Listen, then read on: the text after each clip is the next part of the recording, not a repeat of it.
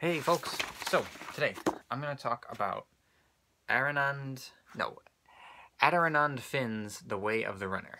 Uh, this is a book about Japanese running culture. He takes a trip to Japan to see what it's all about. Why do you go there? Because Japan consistently produces world-class runners at a rate uh, higher than anybody else besides Ethiopia and Kenya. Can't beat them.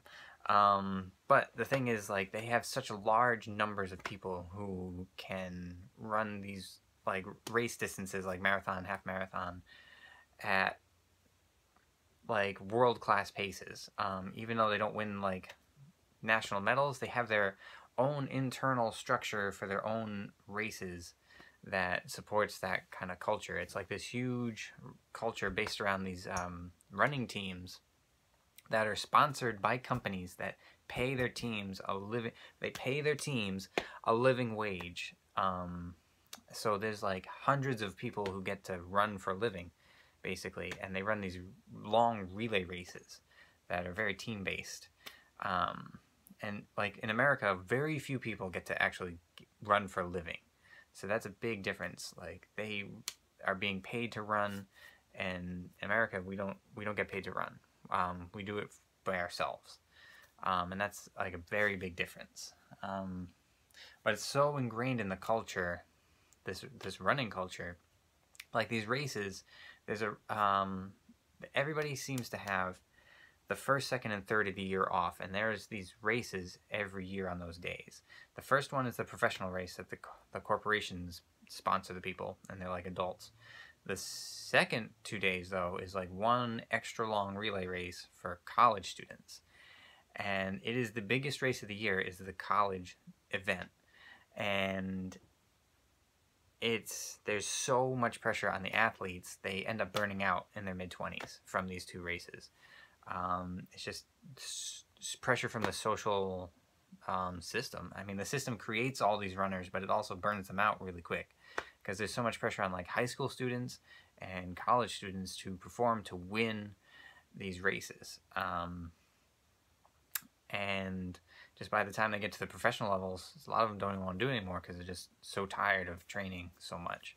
And that's that's the huge difference um, between like Japan and America. Like we have like almost no social support, like a like like official social support. You know, it's all just kind of loosely based community things, like people supporting each other, like at the races or, you know, in like family in your community. But it's not like there's any money behind it. There's not like a huge following. Like more people watch those races than people watch the Super Bowl here.